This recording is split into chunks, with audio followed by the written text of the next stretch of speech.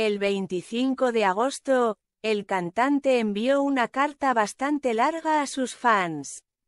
En él, admitió haber conducido bajo los efectos del alcohol y se disculpó con los fans por afectar al grupo BTS. En particular, el cantante admitió haber cometido un error en su primera carta de disculpa, publicada el 7 de agosto.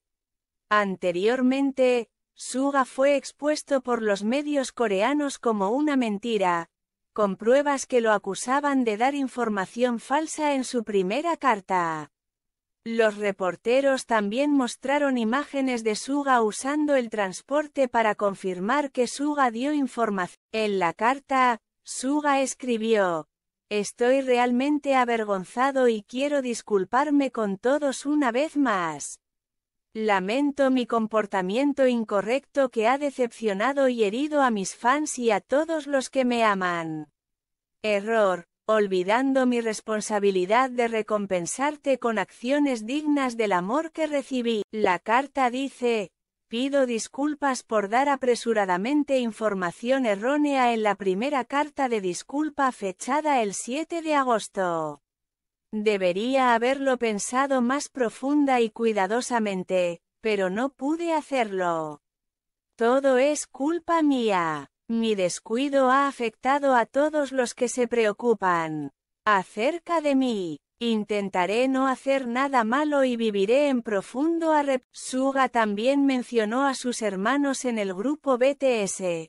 Pido disculpas a los miembros porque siempre creyeron en mí, pero tuvieron que soportar dificultades por mi culpa.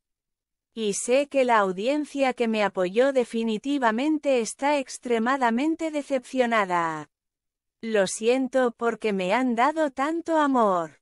Entiendo que cualquier palabra en este momento difícilmente puede curar el dolor y la...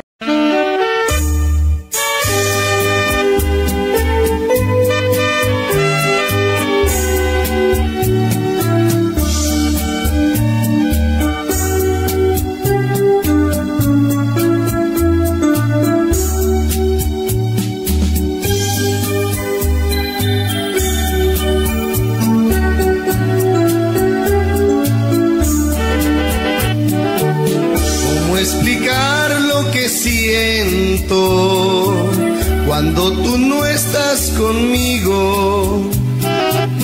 Como gritarle a los vientos que me perteneces, que te necesito. Cómo explicar la alegría cuando tú estás a mi lado. Yo sé que no hay en el mundo un amor más grande como el que me has dado. Te amo amor, te amo, por siempre mil veces te amo. Y aunque no creo merecerte, doy gracias al cielo de haberte encontrado. Te amo amor